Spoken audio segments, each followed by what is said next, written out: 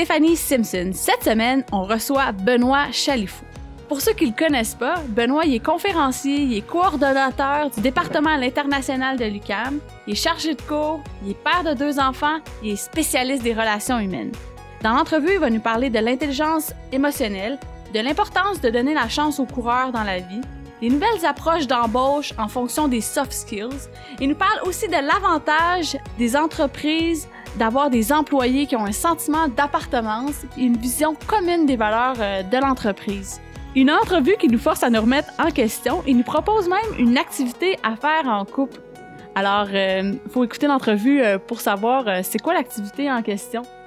Alors, merci beaucoup à tout le monde de nous suivre sur les réseaux sociaux. Si vous avez pu remarquer, si vous nous suivez sur YouTube, que le décor a changé, euh, merci à Marjorie Roy euh, qui a designé le tout.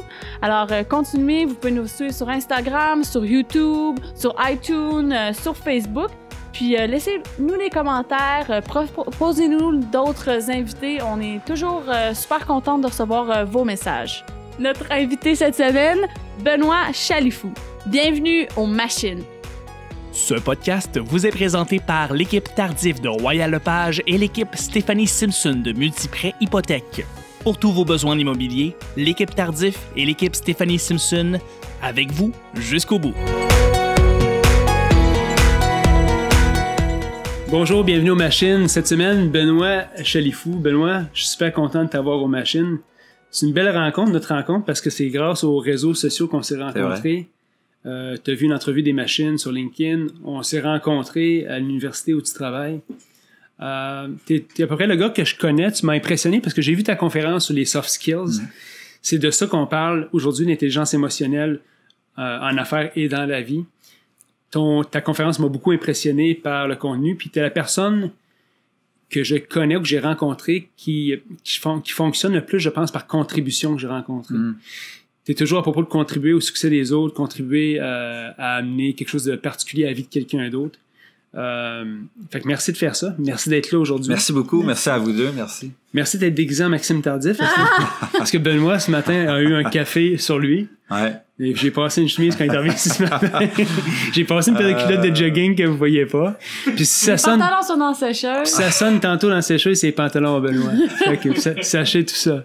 Merci de ces euh, détails croustillants. Merci d'être là, Benoît. Parle-nous un petit peu euh, de toi pour les gens qui te connaissent pas. Hmm. Euh, ben en fait, je suis euh, d'une manière un peu officielle, je suis chargé de cours à l'école des sciences de la gestion de l'UCAM. Je suis également responsable des relations internationales à cette même école. Euh, je suis également conférencier, comme tu l'as dit, euh, une thématique vraiment qui me passionne, les soft skills, l'intelligence émotionnelle. Mm-hmm. On peut les nommer un peu de toutes sortes de manières, toutes sortes de manières de les, les définir. On en parlera plus longuement tout à l'heure. Et je suis également un, un, un père de famille. Je pense que c'est important de le mentionner deux parce enfants, que ça, hein? deux enfants de bas âge, de très bas âge, voilà. Cool.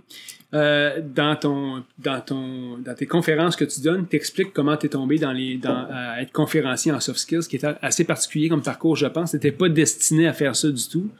Euh, ce qui m'a impressionné aussi de ta conférence, c'est que tu, si tu dis pour les employeurs et dans le, dans le, dans le succès futur, des gens sur le marché du travail, les soft skills étaient un des éléments principaux à, avoir comme outil dans sa trousse, hmm. euh, dans son sac à outils pour réussir dans le futur. 100% d'accord. En fait, il y a des... Euh, le Forum économique mondial classifie à chaque année euh, par les leaders à travers le monde les compétences clés d'aujourd'hui et de demain dans un monde en pleine mutation. Puis ce qu'ils disent, c'est que, et puis finalement, les sondages se sont avérés avec une corrélation très forte avec toute compétence liée à l'humain. Donc, que ça soit euh, résoudre des problèmes complexes, on le fait en groupe, euh, que ça soit également la, résoudre des problèmes cognitifs, mais également la coordination des autres, la gestion du personnel, euh, l'intelligence émotionnelle, dans pur et simple, ça a été une des compétences clés. D'ailleurs, en 2025, on prévoit que ça soit la compétence numéro 6, alors qu'aujourd'hui, elle n'apparaît pas dans les compétences clés. Et je crois qu'en 2030, elle va s'avérer être la compétence numéro un. Donc, c'est effectivement euh, l'humain, le, côté humain prend le dessus avec les technologies qui s'accélèrent, avec l'intelligence artificielle, avec avec euh, toutes ces autres technologies qu'on va devoir faire face. Hein. Euh, votre maison va être contrôlée principalement par toutes les technologies, vont être interconnectés. Et eh bien, plus que jamais, toutes ces interconnexions font en sorte que l'être humain va devoir se définir par ses émotions. Ça a toujours été le cas, mais entre certaines révolutions industrielles, on a senti que c'était moins important parce que ben, finalement, c'était l'efficacité, la productivité. Mais là, il va falloir voir la productivité d'une autre manière. Hmm. Qu'est-ce qui t'a amené vers ça, Benoît? Euh, parce que ton parcours est très intéressant hmm. aussi. Euh, tu n'étais pas nécessairement destiné à faire ça, mais c'est la vie t'a amené ça. comment c'est passé pour toi t'intéresser à ça puis devenir assez compétent pour en faire des conférences? Ouais, euh, je pense qu'il y, a, une petite côte qui dit moins de 20 ans, ils ont compris ce que certains n'assimilent pas en toute une vie. Et moi, je pense que mon background affectif, ce que j'ai vécu dans ma jeunesse, a fait en sorte que j'ai compris très rapidement euh, la valeur de l'être humain, du relationnel. Tu as dit tout à l'heure, je, je, contribue. En fait, ça me fascine de contribuer au projet des autres, d'amener un projet plus grand que nature c'est ma passion, c'est ma raison d'être. Chacun a sa raison d'être. La mienne, c'est celle-là. Et euh, quand j'étais jeune, j'ai perdu un frère qui s'est noyé dans notre piscine familiale. Et c'est moi qui l'a, euh, si je peux dire, euh, trouvé dans la piscine. Et ça m'avait vraiment marqué, bouleversé, etc. J'ai vécu une période assez difficile. Mais j'ai su à chaque fois qu'il m'arrive des choses très émotives, dernièrement, il y a moins d'un euh, il y a un peu plus d'un an, j'ai perdu mon mhm. père d'un cancer. Tu es très très proche de ton père. J'étais extrêmement proche de mon père. Par contre, euh, d'une manière que j'explique j'explique mal, je, vis très bien avec ces situations et ça me donne plus d'énergie encore et encore. Et, et ça me rapproche encore plus de l'être humain et de la valeur de l'être humain. Que finalement, on sait pas quand ça s'arrêtera, donc faut en profiter, puis il faut vraiment être collé à sa raison d'être. Et je pense que c'est ce qui vous fait que vous avez ce podcast, c'est collé à votre raison d'être, de créer de la valeur à votre auditoire. Mmh, tout à fait. Finalement, comment t'es es venu, parce que ton, comme euh, quelqu'un t'a demandé, raconte l'anecdote de ce qui s'est passé quand finalement t'es tombé dans les soft skills. Mmh, ah oui, absolument.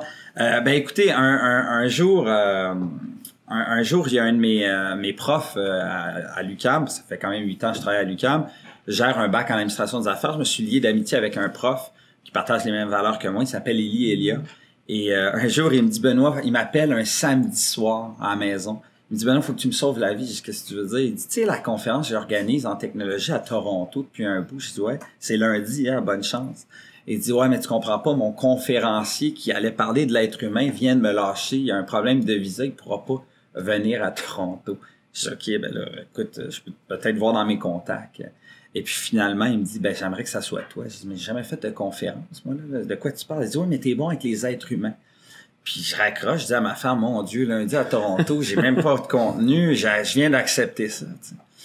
Puis je m'en vais sur Google, je marque euh, relations humaines, puis je le mets en traduction. Puis ça marque soft skills, c'est ce qui sort le premier. Je dis, mais me semble, c'est moi. Puis là, je commence à, lire les descriptions. Je dis, mais c'est moi. Contribuer aux autres, comprendre l'empathie. L'empathie, c'est pas de la, euh, c'est pas de dire mes sympathies. L'empathie, c'est de se mettre dans les émotions des autres sans les vivre. Je dis, mais c'est tout, moi, tout ce qui est en train de, tout ce que je suis en train de lire, c'est moi. Fait je vais bâtir quelque chose avec du storytelling mélangé avec, euh, de la recherche empirique. Évidemment, c'était pas parfait, on va se le dire. Par contre, j'ai découvert une belle opportunité parce que tous les gens à la fin de la conférence m'ont dit ta conférence a été un epiphany moment pour moi. Wow!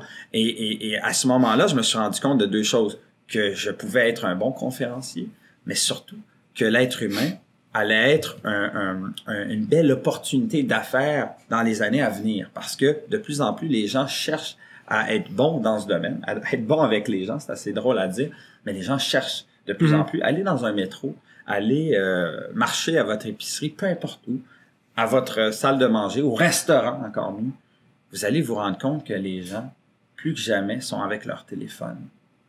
Ils achètent la paix au restaurant. J'aime bien dire ça. On est au restaurant pour pouvoir une petite discussion avec ta douce moitié. On les plug sur le téléphone, puis on a la paix, puis on peut avoir une discussion. Ou encore, on va travailler chacun de notre côté dans nos emails. Fait que le restaurant est une autre zone de travail. Donc, je me suis rendu compte qu'il va falloir faire face à cette réalité, que ça va affecter encore plus nos enfants et que oui, c'est bien pour une opportunité d'affaires. J'en ai fait une, opportunité d'affaires. Je, me promène un peu partout maintenant en tant que conférencier au Québec, mais ailleurs également. Mais surtout, c'est que c'est collé encore une fois avec ma raison d'être. Bon. Euh, après cette conférence-là, euh, puis dans ta conférence, on parle de contribution. Tu as, parlé souvent de comment tu as contribué à la vie de certaines personnes, à la situation de certaines personnes, puis comment ça t'a été remis 100%. Tenfold, comme on dit en mm. anglais. c'est, euh, Quelques exemples de ça, quand tu contribues à la vie des gens, comment ça te revient de manière tangible? Avant d'aller là, j'aimerais dire, premièrement, donner toujours la chance au coureur. Quelqu'un qui veut vous, vous rencontrer, allez-y pas avec du jugement, c'est la pire chose. Je vais vous donner un exemple concret, juste de cette petite parenthèse. Un jour, il y a une personne qui va au secrétariat de mon école, j'aimerais rencontrer quelqu'un qui est dans le domaine de la gestion, je viens du Cameroun, euh, je suis un propriétaire d'école de commercier. Puis le secrétaire m'appelle puis il me dit écoute, il t'a bien un peu, euh, je sais pas si tu veux le rencontrer, moi j'ai pas un bon feeling. Mais moi je donne toujours la chance au coureur. Puis juste pour vous citer cet exemple extraordinaire, cette personne-là, là, quand je l'ai rencontré, j'ai dit, oh là là, ça va le pauvre, cette affaire-là. j'ai dit, on va lui donner un café, mais pas plus, puis ça sera 15 minutes, hein, parce que quelqu'un qui, qui est caractérisé par une intelligence émotionnelle très forte, euh, il dépense ses énergies stratégiquement.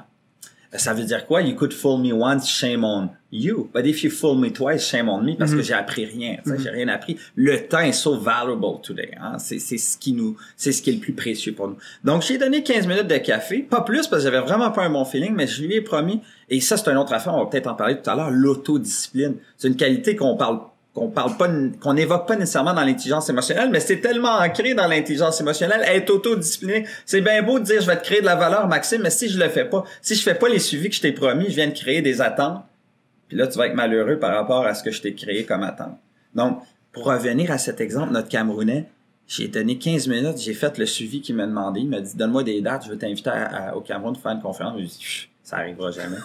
Et donc, je fais un petit email, hein. Le lendemain, il dit, c'est quel, est-ce que c'est correct les dates? Je m'en ai même pas parlé au niveau financier. Il dit, ben, dis-moi combien tu veux. Puis, j'ai lancé un email. Puis, il dit, pas de problème. Le lendemain, j'avais un billet d'avion pour la Cameroun. Alors qu'il y a des discussions que j'ai en répétition avec des gens qui me promettent des affaires. Puis ça, arrive jamais. Ça arrive jamais. Alors que lui, là, tout est filoché, mais c'est peut-être qu'il avait juste pas besoin d'être, de prétendre d'être quelqu'un d'autre. Il avait déjà réussi dans la vie, puis il a pas besoin. Puis effectivement, quand je suis arrivé au Cameroun, je peux vous dire que j'ai réalisé que c'était pas un tout nu dans la rue, comme on dit. Donc, donner la chance au coureur, c'était ma petite parenthèse, excuse-moi, était un peu long, mais par la suite, euh, les exemples sont multiples. Par exemple, je vous donne l'exemple d'une personne que, que j'apprécie bien, qui s'appelle Reda Agouran, est un ancien athlète professionnel de l'Impact de Montréal. Un jour, il me dit, tu devrais rencontrer Asun Kamara. Je rencontre Asun Kamara, qui est un joueur qui a, qui a passé le plus de temps à l'Impact de Montréal depuis qu'ils sont dans la Major League of Soccer, dans la MLS. Il vient de prendre sa retraite d'ailleurs. Puis il me raconte son histoire, Asun Kamara. Puis je dis à Asun, écoute, tu devrais vraiment écrire un livre avec ça. Puis là, je l'aidais à expliquer comment il pourrait finalement euh, s'imaginer le livre. Parce que j'ai dit, c'est vraiment un beau parallèle avec l'entrepreneuriat. Tu devrais faire quelque chose avec. Il me rappelle, il me dit, Benoît, je veux faire le livre avec toi. Je dis, non, écrire un livre, j'ai jamais pensé que j'allais écrire un livre un jour. Et encore une fois, les relations, petit train va loin. J'appelle Daniel Henkel, qui est une bonne amie, parce que j'essaie de contribuer à son succès mutuellement, évidemment, on s'apprécie beaucoup, mais encore une fois, dans une matière de contribution. Et je dis à Daniel, tu dois avoir un éditeur à me présenter. Elle me présente Québécois. J'ai même pas eu à, pitonner les projets puis tout ça. On rencontre la, directrice de cette division des éditions logiques, puis elle dit c'est bon, c'est c'est accepté. Là, il fallait le livrer. Puis là, on s'est mis à écrire un livre, puis la préface, nul autre que Didier Drogba. Moi, j'étais un fan de football. C'était ma vedette de jeunesse il est sur le même cover que moi. Ça me donne des frissons à vous en parler. Donc, juste pour vous dire, là, j'ai fait plein de liens, et puis c'est, c'est tout le maillage de créer de la valeur, d'être obsédé par cette création de valeur pour les autres, parce que ça vous revient à un effet multiple, comme mm. tu le si bien prononcé. Le gros problème, c'est que tout le monde le comprend, mais très peu vont agir dans ce sens-là, parce qu'il y a comme un blocage qui fait que vous voulez le faire, mais en contrepartie, si Maxime m'invite à son podcast, il va me faire ci après ça. Il y a toujours du ouais, mais là, puis là, on commence à calculer. C'est quand des attentes, tu crées des attentes par rapport à, un geste que tu as posé. C'est quand on commence à calculer qu'on vient de se tromper de chemin. Si vous avez accepté, ça, ça vient en adéquation avec votre raison d'être, vos valeurs. Puis, le problème, c'est qu'il y en a qui connaissent pas leurs valeurs. C'est un gros problème. Euh, donc, savoir se connaître, hein, l'intelligence émotionnelle, la première facette, c'est se regarder dans le miroir. Est-ce que tu vois un, un lion puis tu un beau petit chat avec tes qualités et tes défauts? Est-ce que tu te vois vraiment comme tu es? Mhm. Première chose. Puis après, savoir naviguer, danser dans les émotions des autres à tout moment. Est-ce que les gens, est-ce que les gens se voient comme ils, comme ils le sont généralement? Ben, euh, je, je- c'est difficile à dire. Il y en a que oui, il y en a que d'autres. Par exemple, euh, les, euh, les gens qui, qui, ont- qui sont dotés de, de, de caractéristiques leaders, là, de leaders naturels, je trouve que oui. Euh, par contre, beaucoup de chefs d'entreprise, euh, on prétend qu'ils le sont, puis ils le sont pas tout le temps, en fait. Euh, une des manières de le faire, très simple, faites un exercice à la maison. Vous pouvez le faire en- tu peux le faire avec ta douce moitié, c'est très simple. Vous demandez de- d'écrire sur un papier tes trois forces et tes trois qualités et d'en faire autant selon ta perception de toi. Et des fois, ça peut mener, je vous avertis, je pense pas dans votre cas, mais ça peut mener à des petits conflits. Ben voyons donc, c'est ma paix faiblesse. Moi, je l'ai écrit comme ma, première force. Ben, ça nous permet un, un pivotage ou un réajustement. Je disais, Seigneur, c'est pas moi ça finalement. Je pensais que c'était moi, mais c'est pas moi du tout. Il y en a qui ne sont pas conscients. C'est un bel exercice à faire. Et je le fais à chaque année avec ma femme, en fait. Oui. Puis à, à date, ça va bien. Mais, mais, tout, mais, mais tout ça pour dire que euh, savoir se reconnaître, c'est pas euh, instantané. Il faut, faut faire cet exercice, faut faire une réflexion annuelle, euh, semestrielle, je sais pas, sur notre personne, où on est rendu, euh, et etc. Donc, c'est la première euh, composante de l'intelligence émotionnelle. Savoir se reconnaître dans ses émotions les plus profondes, les plus difficiles, puis dans notre quotidien également. Quels sont, comment on reconnaît quelqu'un, parce qu'on a parlé de, la discipline, euh, de qu'elle se mettre à la place des autres. Comment on reconnaît quelqu'un qui est intelligent émotionnellement, qui, qui a des soft skills Mm. dans la vie, dans le quotidien? Comment tu reconnais Euh, ça facilement? tellement simple, tellement simple. En fait, c'est juste qu'il faut être, premier critère, il faut être dans le moment. Faut l'être. Non, faut être dans. faut, faut l'être. non, il faut être dans le moment. Il faut vivre dans le moment. C'est facile à dire, hein. Mais par exemple, depuis que je suis arrivé ici, j'ai, je sais exactement qu'il y avait des œufs dans, dans la, dans la casserole. J'ai détecté tous les petits détails. J'ai détecté le body language de chacun, de tous et chacun. Puis je m'en suis imprégné pour m'ajuster dans la manière de, d'élaborer une discussion. Mhm. Donc, d'être dans le moment, c'est la première chose. Subtil! Le body language, c'est 60, des fois, dans certaines cultures, 80% du message qui vient d'être Ouais. lancé. Ouais. 10% des mots. 10% les mots, puis dans certains langages, c'est 5. Puis les mots, c'est comment tu les dis. Avec l'intonation! C'est ça. C'est une de Des tes fois- forces à toi aussi. Ben T'en oui. parles dans ta conférence, c'est comment t'exprimer. Exactement, d'arrêter. Moment de conscience. Tu sais, des fois, dans certaines cultures, les Japonais, les Finlandais sont très forts pour présenter le silence comme une marque de respect, comme une marque de réflexion. Ouais. Chez nous, les Américains, les Canadiens, c'est comme on est On vraiment malaise. inconfortable Ouais, avec ça. Ça crée un malaise. Ça crée un malaise. Donc, la première chose, c'est vraiment ça, d'être dans le moment. Puis une fois que tu es dans le moment, de porter une attention particulière au body language des gens. Quand tu lances une phrase, regarde comment elle la reçoit. Il faut vraiment être dans le moment. Puis pour être dans le moment, on peut faire des exercices pour être dans le moment. Euh, c'est la méditation, c'est des choses comme ça, la respiration plus profonde. Parce que c'est difficile aujourd'hui d'être dans le moment, euh, d'être discipliné avec son téléphone. Moi, euh, quand j'arrive à la maison, mon téléphone reste dans mon dans la poche de manteau jusqu'à temps que mes enfants dorment. Après, je le regarde quelques minutes, quelques minutes, je gère ce que je dois gérer, puis je le regarde juste le lendemain après avoir pris mon café. Euh, Sinon, on devient très distrait, tu sais, les notifications, etc. Fait c'est pour ça que les gens sont de moins en moins dotés d'intelligence émotionnelle parce qu'on est toujours pris avec des choses à faire. Puis une des premières caractéristiques, une premier élément, d'être dans le monde. Je suis convaincu que les gens qui nous écoutent vont avoir beaucoup de questions par rapport à... On sait que l'intelligence, le QI de base, tu, tu, tu viens au monde avec ce que tu as comme intelligence de base. Ça se développe pas nécessairement. L'intelligence émotionnelle se développe Hmm. euh, jusqu'à un certain niveau, j'imagine. Pas tout le monde peut atteindre Ouais. le même niveau d'intelligence émotionnelle. Euh, quels sont les ouvrages? Qu'est-ce que tu recommandes aux gens comme exercice pour développer ça, être plus souvent dans le moment présent? Tu parlé de méditation, de choses comme ça, mais pour quelqu'un avoir des résultats les plus probants par rapport à ça, qu'est-ce que tu recommandes? Euh, moi, je recommande de, de, de, de télécharger une application. Euh, d'une- une- une- une- il y en a des centaines, mais des applications plus qu'un livre. Moi, je recommande de le faire dans l'action. Euh, lire, c'est super. On en parlait tout à l'heure, mais on retient pas tout. Mhm. Euh, surtout si on n'a pas des techniques de lecture. Euh, donc moi, je, je devrais, je recommanderais de faire, de passer plus par l'action. Recommander AppSpace par exemple, ou il y a plusieurs applications qui favorisent cette méditation, qui t'aide à méditer à un moment donné. Moi, je le fais ça maintenant, mais euh, tu, tu, tu puis là, ça te rend discipliné. Tu télécharges l'application, puis chaque jour, tu dois le faire pour avancer au prochain stade. Moi, je pense que c'est ça. C'est, c'est, d'être conscient du moment puis de le savourer. C'est, c'est l'étape première. Mais euh, je, je, veux rebondir sur ce que tu as dit euh, tu as parlé de quotient intellectuel, puis que finalement, on est né avec un certain quotient intellectuel, puis il n'y a pas grand-chose qu'on peut faire. Oui, on peut être plus autodiscipliné, travailler plus fort pour avoir de meilleures moyennes. Euh, puis je le vois dans mes groupes, je peux pointer la personne, le génie dans la classe s'il y en a un. Genre, il y en a pas là. Je veux dire, on est tous à peu près à la main, au même niveau, ce qui fait qu'on est plus performant une personne qu'un autre dans notre domaine d'expertise, dans notre travail, euh, à l'école, à l'université. C'est simplement notre autodiscipline puis notre automotivation. C'est tout. Notre, notre quotient intellectuel est le même ou est à peu près au même niveau. Sérieusement, hein? les génies, il y en a un par mille. Par la suite, il y a, et on l'a pas évoqué, mais la personnalité. Puis il y en a des fois qui en ont deux. Hein? Une plus noire que l'autre. Puis euh, cette personnalité-là, encore une fois, oui, elle se développe, mais après 10-12 ans, là, notre personnalité est forgée, est cristallisée, puis c'est vraiment difficile de la changer. Et là, on arrive à notre quotient, euh, quotient émotionnel, une, une, nouvelle terminologie qui est apparue dans les années 2006, qui devient de plus en plus importante et dans les critères d'embauche, on va leur proposer des tests émotionnels plutôt que des tests techniques. Parce qu'on sait très bien qu'on réapprend à apprendre en entreprise plutôt euh, que notre côté émotionnel où je viens de l'évoquer. C'est pas vraiment possible euh, de s'améliorer en fait.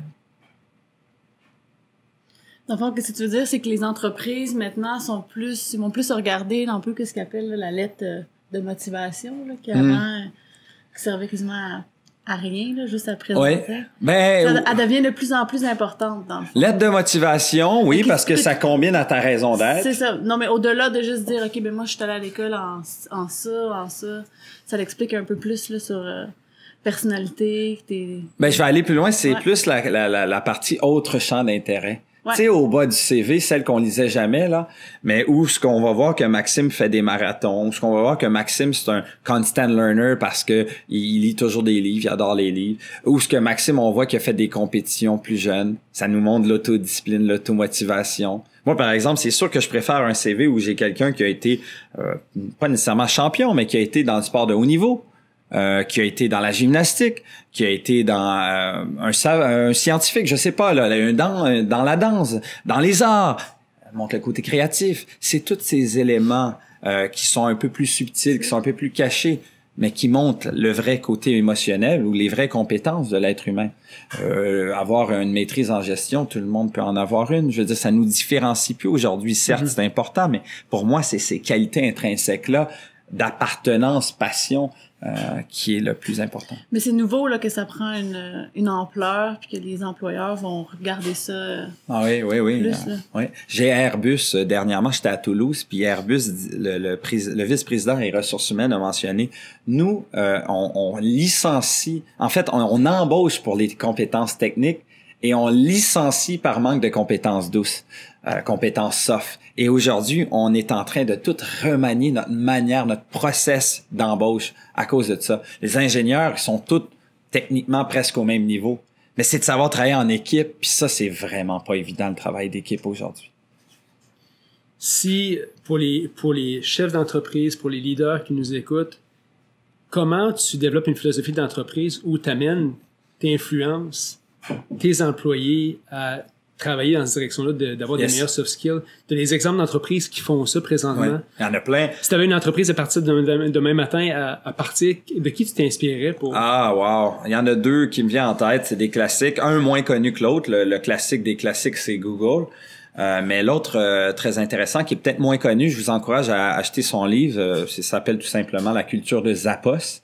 Zappos, Z-A-P-P-O-S, c'est un site web euh, qui vend des livres en ligne, euh, pas des livres, des souliers en ligne. Euh, écoute, faut être audacieux pour euh, avoir créé ça il y a une dizaine d'années, un site web qui proposait des souliers Mhm. en ligne. Qui était vraiment disposé à acheter un soulier en livre à cette époque? Mais c'est toute leur culture d'organisation. Euh, je veux parler de la motivation euh, à travers ça. On a, euh, y a tout, le- on pense qu'il y a des gens qui sont motivés puis d'autres qui ne le sont pas. La vérité, c'est que tout le monde est motivé. Mais la vraie question, c'est par quoi? Euh, et il y a de la motivation sous-optimale et de la motivation optimale, comme on les appelle. Et, et donc, si c'est la carotte et le bâton, et c'est ce qu'on a tendance à faire avec nos enfants, hein, Mhm. euh, de dire, ben si tu fais ça, je te donne ça. Ben ça, c'est de la motivation sous-optimale. Et ça amène un résultat sous-optimal. Euh, on est beaucoup mieux, et, et juste pour aller dans l'autre parallèle, la motivation inhérente, une motivation où tu le fais et tu pourrais rester 10 heures à le faire parce que tu es, dans ton state of flow. Mhm. Euh, donc, ça rentre là-dedans. Il y a trois éléments qui sont universels. Et si les organisations le comprendraient mieux, je pense que les organisations s'y prêteraient mieux. Et ces deux organisations l'ont bien compris, Google et Zappos. La première, c'est que le, le- le désir d'autonomie est propre à tous les, les êtres humains sur la planète. C'est universel. L'autonomie. Le moindrement que vous mettez un élément de contrôle, le plus que les êtres humains ne se sentent pas épanouis. Donc, faut les, les contrôler sans les contrôler. Mhm. Les mettre des guidelines, le premier. La deuxième, c'est évidemment tout ce qui est en train de... C'est la compétence. La compétence. Tous les gens voudraient être plus compétents. Pensez à vos enfants, quand ils commencent à marcher, hein, ils, ils tombent, mais ils veulent se relever puis réessayer. L'élément de compétence. La troisième, le sentiment d'être lié aux autres. Si on est capable de rallier ces trois éléments d'autonomie, pensez à votre enfant quand vous commencez à lui donner à manger. Il veut prendre la cuillère puis il veut manger tout seul. C'est vrai. Il veut être autonome dès son bas âge. C'est la même chose en organisation. On veut être autonome. On veut pas être contrôlé. La deuxième que je viens d'évoquer, c'est au niveau le sentiment de relation avec les autres. Faites à votre enfant, et je reviens à l'enfant parce que ça commence très bas, partout. Vous vous, vous cachez où il, vous regarde et vous le regardez pas, il va prendre votre visage et va dire regarde-moi. On veut être connecté avec l'autre. C'est la même chose en entreprise. Donc aujourd'hui en entreprise, on ne veut plus des rencontres d'équipe. On veut du one-to-one. Et la génération Z encore plus. On veut être connecté avec la personne qui nous gère, qui nous lead, qui nous manage. Et la troisième, je viens de l'évoquer, c'est cet élément de compétence. On veut se sentir compétent dans ce qu'on fait. Fait que la formation, les conférences sont de plus en plus mis de l'avant en entreprise parce que ça permet cet épanouissement de soi. Donc, juste pour rentrer dans... C'est ces trois éléments, je trouve que les organisations devraient entrer dans leur culture d'organisation. Pour rebondir sur le point, et je, je termine si ta question était longue, la réponse, mais plein de... C'est correct. Euh, c'est que la raison d'être d'une organisation, si elle est bien véhiculée, toute l'organisation va fonctionner beaucoup mieux. Je vous donne l'exemple de la NASA. Quand il y, a, euh, euh, il y avait eu un gros reportage quand il y avait eu le lancement de la première orbite qui était partie sur la planète, euh, sur la Lune. Et euh, parmi les, on interviewait tout le monde qui faisait partie de la NASA. Et il y avait quelqu'un qu'on avait interviewé, puis ça avait resté dans le record, mais ça n'avait pas apparu sur le documentaire. Je sais pas si tu te rappelles de cet exemple-là. Et on lui a dit, qu'est-ce que vous faites, vous? On lui avait posé rapidement la question. Le monsieur était là, interviewait tout le monde. Il arrive à ce monsieur-là, il regarde pas trop ce qu'il fait. Il dit, qu'est-ce que vous faites ici, vous? Il dit, moi, j'envoie des gens sur la Lune. Et ça restait comme ça. Et plusieurs sem- semaines plus tard, on a regardé tous les gens qu'on avait interviewés, puis on a dit, mais ce monsieur-là, on sait même pas ce qu'il faisait, on n'a même pas son nom, on peut même pas euh, diffuser parce qu'on n'a pas sa signature. Fait qu'ils vont le revoir à la NASA. Ils disent, qui c'est ce monsieur-là? Ici, c'est le concierge. Wow. C'était le concierge de la NASA. Il envoyait des gens sur la planète Lune, euh, sur la Lune. Et juste pour euh, faire le parallèle avec ça extraordinaire, il y a quelques années, une dizaine d'années, euh, en France, ils ont envoyé, envoyé une, or- un, un autre orbite et elle a explosé. Et vous savez pourquoi elle a explosé? Parce qu'il y avait une poussière dans le moteur. Donc, faire le parallèle du concierge qui est aussi important que d'autres personnes, euh, il avait très bien compris sa raison d'être, que tout devait être propre parce que c'était capital pour la NASA d'avoir toutes ses composantes en adéquation pour pouvoir envoyer la fusée. Comprendre sa raison d'être, c'est aussi profond que ça. Je trouve que c'est la plus belle exemple que j'ai vu pour l'illustrer. Mm. J'envoie quelqu'un sur la planète Lune. Quand on te demande à tes employés qu'est-ce que vous faites, mais s'il répond exactement ce qu'il fait, ou est-ce qu'il a compris quelque chose d'encore plus grand que ça? Intéressant, ça. Hein? Ouais. C'est une question à poser aux, aux Ouais, gens dans Qu'est-ce que tu l'entreprise. fais? C'est drôle, tu parles de tout ça. Je t'ai recommandé, en voiture tantôt ensemble, je t'ai recommandé un livre Oui. qui était pour les enfants. Puis plus je lis ces ouvrages-là, plus je me dis, la base est assez simple. Tout le monde est pareil, puis ça change pas. Mm. Parce qu'il parle pour les enfants, ce qu'ils ont besoin, c'est un, il y a un power bucket puis il y a un attention bucket. Ils ont besoin d'avoir du pouvoir, puis ils ont besoin d'avoir de l'attention. C'est la même chose que les employés ont besoin d'avoir, ou les gens qui travaillent ont besoin d'avoir du pouvoir aussi, puis de l'attention. Ouais, pouvoir slash contre, de contrôler ce qu'ils font, euh, d'avoir cette flexibilité d'innover, de se casser la figure, puis pas qu'on qu'on lui qu'on lui tape dessus parce qu'il s'est cassé la figure. Euh, la figure, au contraire, il innove, il essaye des nouvelles affaires et euh, le pouvoir d'influencer euh, aussi qui est très important. Puis je pense que c'est la meilleure manière d'avoir quelqu'un d'ultra productif. D'ultra productif, mais pour ce faire, faut connaître sa raison d'être, ses valeurs, les euh, les diffuser dans l'organisation et faire confiance aux gens. Euh, le leadership euh, façon euh, 2019, c'est un leadership caractérisé par faire confiance, mais pas que tu es chef d'organisation qu'on te fasse confiance, mais que tu fasses confiance à ton Mhm. équipe.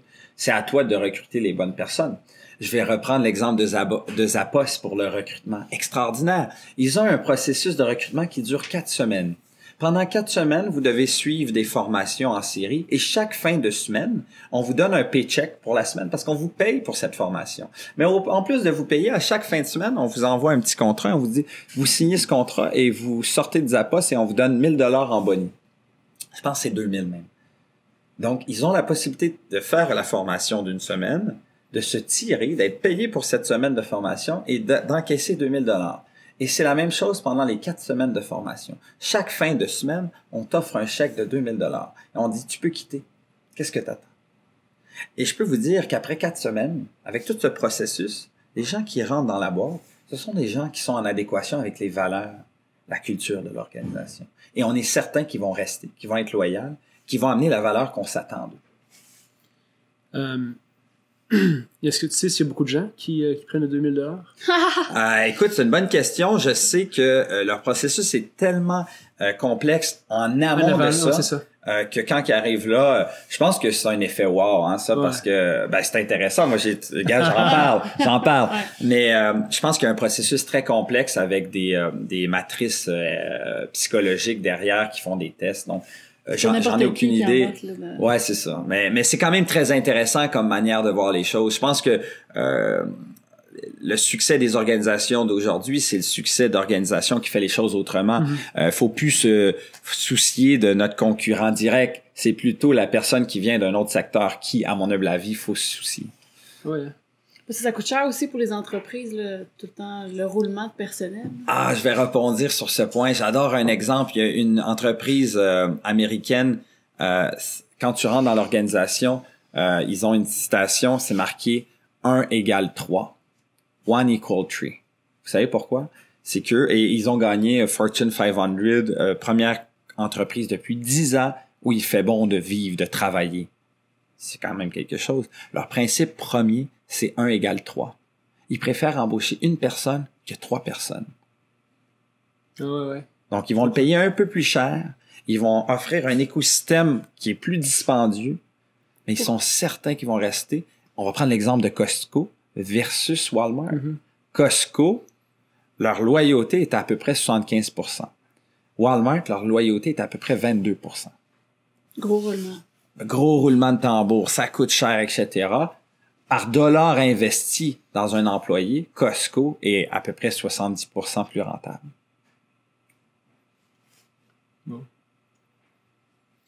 Pour une entreprise, euh, trouver son why, son pourquoi, c'est pas simple. Hein? Des fois, tu regardes ça, tout le monde fait la même chose. Tout le monde va vendre des voitures, tout le Mm. monde va faire de l'immobilier, tout le monde. Ouais. Euh, comment les gens vont mettre vraiment le doigt sur leur why généralement? C'est quoi le processus? Simon Sinek a écrit un livre là-dessus. Ouais, le Big Why. Ben moi je pense que euh, l'immobilier c'est pas ça. le- Si tu es dans l'immobilier, ce que tu es en fait, c'est- pas dans l'immobilier que tu es.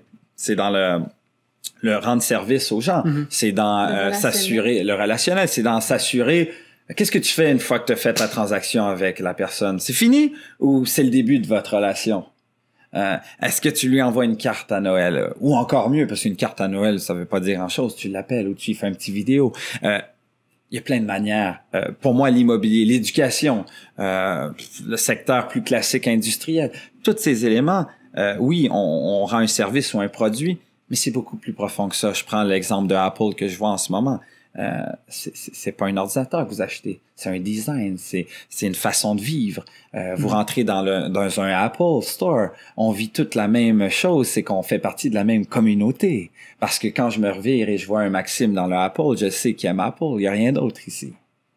Et donc, c'est le big why, c'est vraiment la raison d'être. Toi, là, tu es là pour vendre des maisons ou pour s'assurer que la personne qui te fait confiance va être heureux puis va se sentir bien dans son chez-soi. Mm. Est-ce que tu es transactionnel ou relationnel? C'est un mm. classique, mais c'est ça. Donc, moi, je pense plus qu'il faut... Ah, moi, je suis immobilier.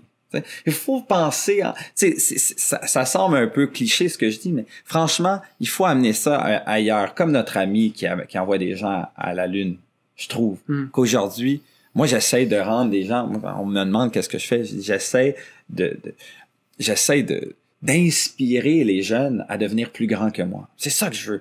Quand que, quand ils me dépassent, j'en suis plus que ravi. C'est ça mon, mon, mon purpose. Intéressant, ça fait réfléchir. Euh, ce matin, tu as un instant dans le métro. Tu as inversé un café sur mm-hmm. toi on, on, espère du monde assez intelligent émotionnellement, assez équilibré. Quand les affaires comme ça arrivent dans le quotidien du monde, quelqu'un veut sauter sa fuse parce qu'il est arrivé quelque chose, comment quelqu'un assez intelligent émotionnellement va, va répondre au lieu de réagir? Hmm. Excellent, excellent. Comment? Ben, en fait, c'est une autre des caractéristiques de l'intelligence émotionnelle. De, there's something, euh, on, appelle ça euh, self-control.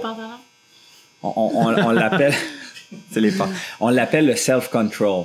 Euh, ben, le self-control, c'est cette manière de, de se contrôler, contrôle de soi dans toute situation. Tu vis une situation vraiment difficile, tu reçois un courriel d'une personne un peu mine. Un ah oui, c'est vrai, tu m'as parlé à ton ah, ça, j'aime ça. Euh, et, et, donc, la personne t'écrit quelque chose, on aurait tendance à réagir à, à chaud, euh, d'être en, en Saint-Ciboire, puis d'écrire quelque chose à chaud. Euh, mais je peux vous dire que le lendemain, quand vous allez vous réveiller, vous allez dire qu'est-ce que j'ai fait là, puis vous avez, reçu plein de courriels en suivi de ça parce que c'était plein d'ailleurs, puis etc. Puis là, vous avez créé une montagne. Pourquoi pas dormir là-dessus? Puis d'ailleurs, t'étais, euh, étais comme ça avant, je pense. Ouais, hein? exactement. J'étais un peu à l'italienne. J'ai un peu le sang chaud de nature. Euh, et euh, effectivement, je réagissais beaucoup à chaud. Et plus que je, j'ai fait un travail sur moi-même de dire step back and relax. J'ai beaucoup de... J'ai un cas en ce moment même j'ai vraiment, j'ai composé à peu près huit fois l'email, puis je l'ai pas envoyé. Je l'ai pas envoyé, j'ai senti que c'était le bon, c'était pas le bon timing. Il faut laisser chaque poussière retomber. Fais du bien de pas l'envoyer, hein. Exactement. C'est là, c'est mis sur papier. Dis fuck it, je l'envoie pas. Non, exactement. C'est libérateur quand même. Ouais, c'est libérateur. Puis tu te dis, ben gars, je l'ai, je l'ai écrit, comme ça je le verrai. Des fois, c'est quoi? Le pire, c'est que t'as la chienne de l'avoir envoyé. C'est pas pour moi qu'il l'a envoyé. Je suis pas sûr, je suis pas sûr que c'était le bon timing. Puis je vais aller plus loin. Souvent, les courriels, les messages textos sont mal interprétés. À moins que vous dites oui ou non pour une question bien simple.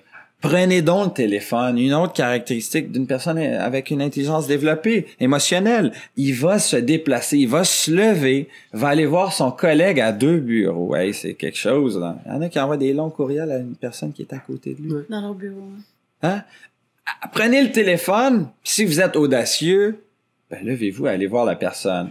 Parce que vous allez créer une relation avec cette personne, et plus que vous allez créer une relation avec cette personne, moins que vous allez avoir des problèmes parce qu'elle va toujours être en mode solution, first. Mais deuxième, qui est encore plus intéressant à mon humble avis, c'est que vous n'allez pas avoir d'incompréhension ou de, de, mauvais understanding, de misunderstanding entre vous deux parce que vous vous parlez. Mm-hmm. et, évidemment, il y a une manière de le dire aussi.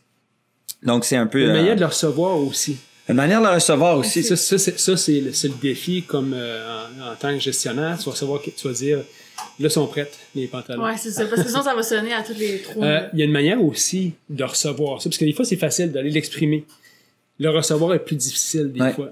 Oui, absolument. Euh, encore une fois, c'est, euh, je pense que quand vous recevez quelque chose d'un peu compliqué. Euh, essayez de trouver un mot. Euh, essayez de trouver un mot euh, poli. Euh, la meilleure chose à faire, c'est de pas y répondre, c'est de prendre le téléphone ou d'aller voir la personne. C'est dire c'est un, un message-là. Il me semble que tu as été un peu rough ou j'ai-tu quelque chose? Je pense que j'ai, j'ai fait quelque chose puis je m'en suis même pas rendu compte. Puis tu m'expliquer où c'est que je me suis trompé? Tu sais, puis jamais pensé qu'on a raison parce que dans dans toutes les situations, on a toujours notre part de responsabilité. Des fois, c'est 10% sur le 100%, mhm. mais on a une part. Mhm. Puis assumons donc cette part-là à place de dire, ben non, c'est l'autre, c'est l'autre, c'est l'autre. Moi, je pense que ça donne, ça donne beaucoup de pouvoir de reconnaître ta part de responsabilité dans quelque chose. Exactement, absolument. Parce que tu dis, écoute, il y a une relation qui va pas bien, juste tout le temps, ben, la moitié, c'est toi. C'est moi, c'est Stéphanie, c'est toi. C'est une collaboration à deux, là. Puis si c'est pas toi de manière claire, il y a quelque chose que tu peux changer pour que ce soit plus facile. 100%. Ça, ça donne du pouvoir de dire, moi, je peux changer ça. Moi, je peux faire ça. Oui, absolument, absolument. Donc, encore une fois, une autre belle caractéristique de l'intelligence émotionnelle. Je trouve ça le fun comme entrevue parce qu'on les amène sans vraiment les amener de manière un peu naturelle, mais le self-control, c'est euh, c'est une compétence extraordinairement euh, bonne à, à, développer. Dès un jeune âge. Dès un jeune âge, d'ailleurs, euh, on parlait de travail d'équipe. beaucoup de recherches ont prouvé que le travail d'équipe, les équipes performantes aujourd'hui ont deux éléments clés que d'autres n'ont pas. On a découvert ça au fil des recherches. Je trouve ça extraordinaire. C'est tellement simple. La première chose, c'est que dans les équipes performance, il y a un safety net, un sûreté de sécurité. Ça veut dire que quand on est en rencontre, Maxime peut dire ce qu'il veut. Il sera pas jugé. Il sera pas backstabé mm-hmm. par la suite. Ça, sûreté. Il y a un genre de, de, confiance mutuelle, puis, puis on se laisse aller dans la discussion. Puis la deuxième élément, c'est equality of voice. Tout le monde doit parler. Google, on parlait de Google. Google, les chief leaders d'équipe, ils ont un, un, calepin avec un coche. Ils vont cocher quand quelqu'un a, parlé dans la discussion. Puis ceux qui n'ont pas parlé, ben on va les amener à parler. Et ça, ça amène un élément de confiance, un élément de résilience entre les équipes de travail. Travail d'équipe. Tu dis que ça commence jeune, là, tout ça. Absolument. Puis le travail d'équipe aussi. Moi, je me rappelle de mon fils, il y a pas cet été. Je suis un fan de foot fini. écoute, il marque des buts dans ma cour, puis je suis comme, on est à la Coupe du Monde. Et euh, j'ai un de mes amis qui est un de mes bons mentors, m'a dit Benoît, j'aimerais ça te parler parce qu'il y avait quatre ans, il y a quatre enfants. Il y a quatre enfants, puis il me dit euh, me semble que t'es un peu too much là, à célébrer les buts de ton fils dans ta cour. Je veux dire, euh, t'es un peu obsessif. Là, je peux te conseiller quelque chose? En plus, il est super jeune. C'est là que tu formes son caractère, etc. Célèbre donc ses passes à la place. célébrer ses passes. Chaque fois qu'il fait une passe, célèbre-les. Puis j'ai tellement fait ça euh, de manière systémique dans notre approche, dans tout ce qu'il faisait, le partage, machin, que puis là, l'Halloween s'en venait en plus à cette époque-là. Et il a tout partagé ses bonbons. Il s'est mis à tout partager.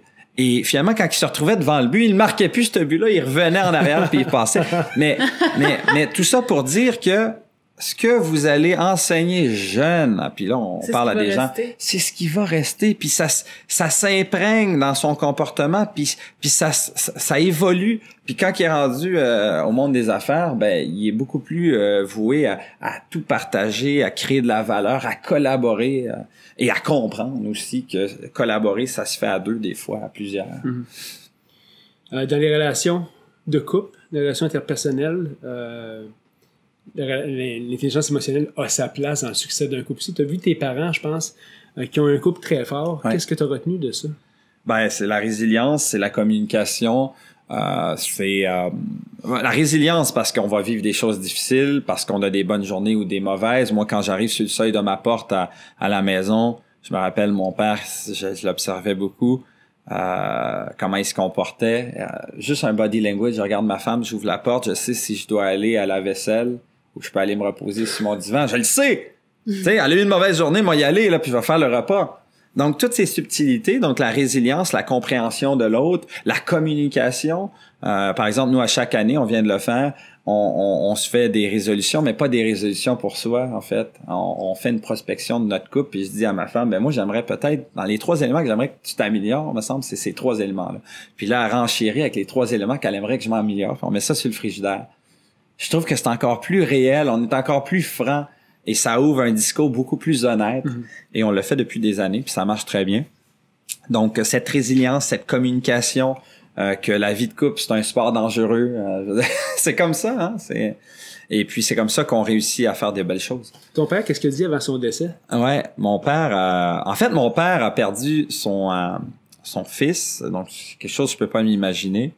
Euh, et euh, elle vivait une vie extraordinaire. Et puis on a su en quelques semaines qu'il y avait un cancer. Puis trois semaines plus tard, il était décédé. Puis j'avais eu un, un, moment vraiment unique avec lui. Puis papa, c'est un, une personne de peu de mots, contrairement à moi.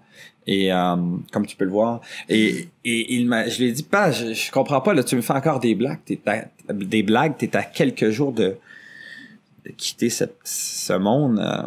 Ça me faisait vraiment chaud au cœur. Puis j'ai dit, peux-tu me donner le truc que t'as? Parce que tu t'es pas divorcé avec maman. Puis il y a neuf couples sur dix au Québec qui se divorcent après le décès d'un enfant. Neuf couples sur dix.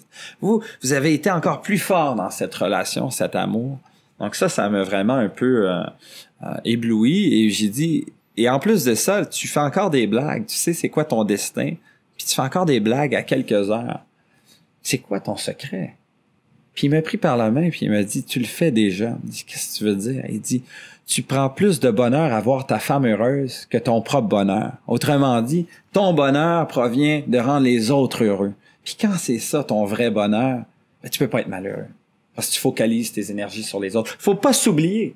Faut pas s'oublier, mais faut pas être intrinsèque non plus. Faut pas être interne. Internal, euh, je sais pas comment on dit en français, mais tu sais, d'avoir un, amour inconditionnel de sa personne. Je pense qu'on apprend à s'aimer en aimant les autres également. Donc, si vous centralisez votre bonheur euh, vers les autres, surtout les gens qui vous qui vous entourent le plus près, euh, je pense que vous avez de bonnes chances à être heureux puis à rendre les gens autour de vous heureux. And there's something in English they say happy wife, happy life. You know, it's true. C'est la quête de tout le monde, hein, de nos jours, 2019. C'est la quête du bonheur. Tout le monde va être heureux. Regarde tous les livres là, en gestion. On parle plus de, de, de, comptabilité approfondie. On va parler de la quête du bonheur. Les J'ai jamais eu autant de recherches scientifiques mm-hmm. sur le bonheur aujourd'hui. C'est assez fou, ça. Hein.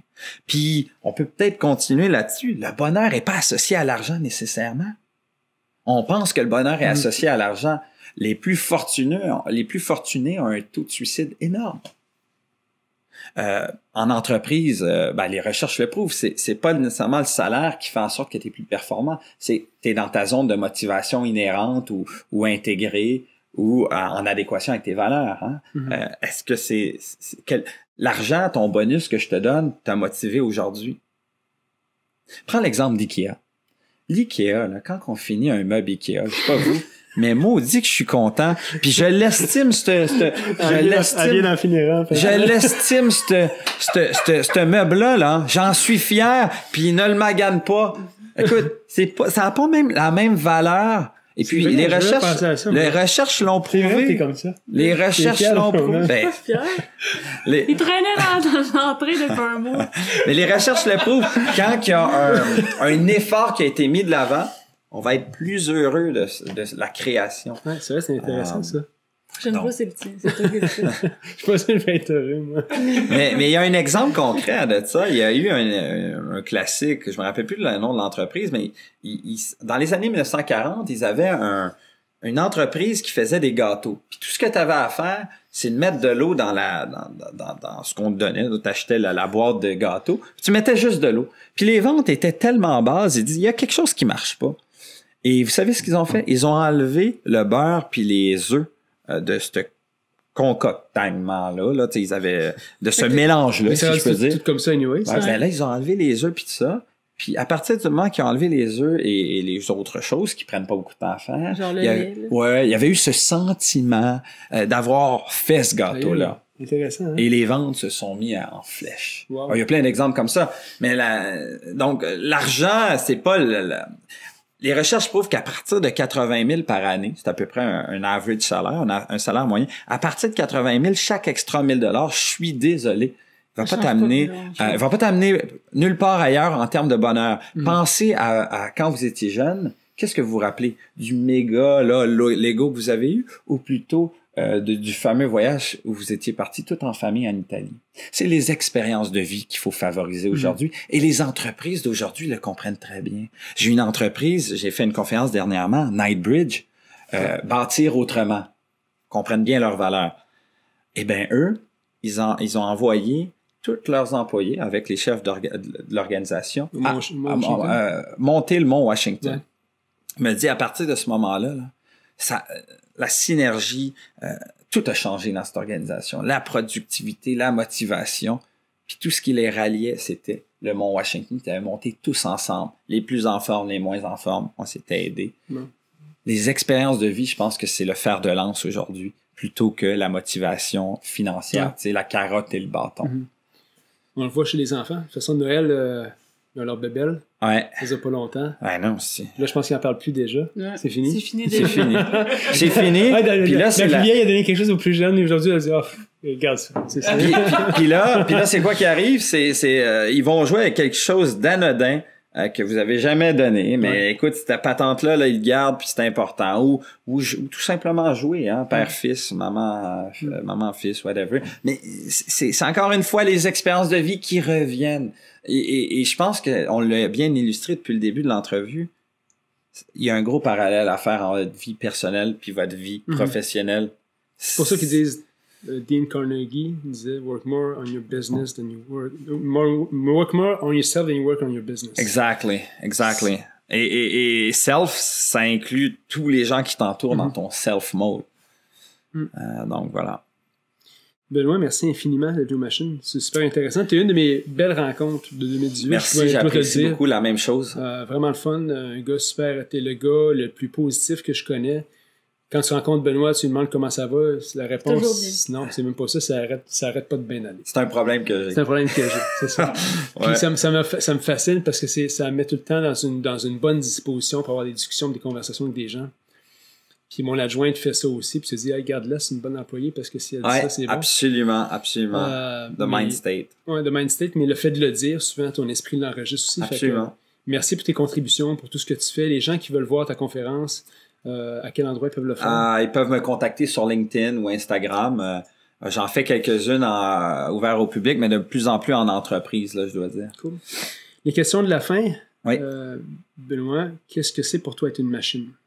Euh, une machine, c'est quelqu'un, à mon humble avis, qui euh, va, va dire ce qu'il fait, mais surtout va faire ce qu'il dit dans un temps euh, absolument court, euh, sans faire d'erreur. T'es bon là-dedans aussi. Quand tu dis quelque chose, tu le fais tout de suite. Ouais, d'être dans le temps réel. Ouais. Non, Ah. je sais, j'ai remarqué ça de toi aussi. Euh, si tu avais un livre à recommander au plus grand nombre de personnes possible. Ouais, un livre, euh, j'en ai tellement lu. Je pense que je vais dire le- plusieurs œuvres, euh, et c'est tous de la même personne. Parce que je, pensais en m'en venant en métro, je dis que si je vais y dire? Euh, je pense que ce qui m'ont, le- les œuvres qui m'ont le plus marqué, c'est les biographies de Gandhi. Ouais. Ouais. Puis j'en ai lu euh, quand j'ai entre 18 et 24 ans, je dois en avoir lu une dizaine. Il y en a plein. hein. Je veux dire, c'est pour ça que j'arrive pas à cibler une. Mais n'importe quoi qui est lié à Gandhi, son histoire, son parcours, ça me fascinait. Puis ça m'a beaucoup aidé dans ma manière de voir les choses. Et si tu avais une chanson sur la trame sonore de ta vie, qu'est-ce que ce serait? Ah, euh, une chanson qui m'aide beaucoup à passer à travers euh, la période du décès de mon père. Et euh, c'est une, ch- une chanson que j'ai découvert il y a pas très longtemps. Par contre, euh, ça résume bien ma, ma manière de voir les choses. C'est Laisse le soleil briller euh, de... euh, comment ça s'appelle?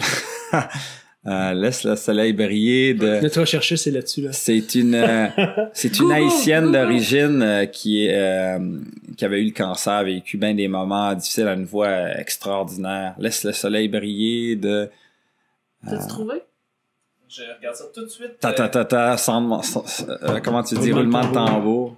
C'est Mélanie Renaud. Mélanie Ouais. Renaud, extraordinaire. Laisse le soleil briller, extraordinaire. J'ai j'ai pas d'autre mot.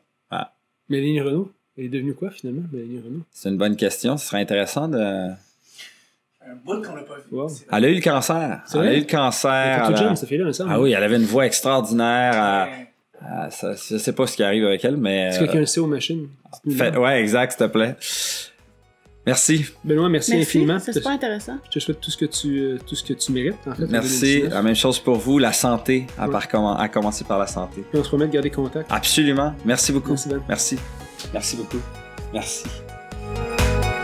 Ce podcast vous a été présenté par l'équipe Tardif de Royal Lepage et l'équipe Stéphanie Simpson de Multiprêt Hypothèque. Pour tous vos besoins immobiliers, l'équipe Tardif et l'équipe Stéphanie Simpson avec vous jusqu'au bout.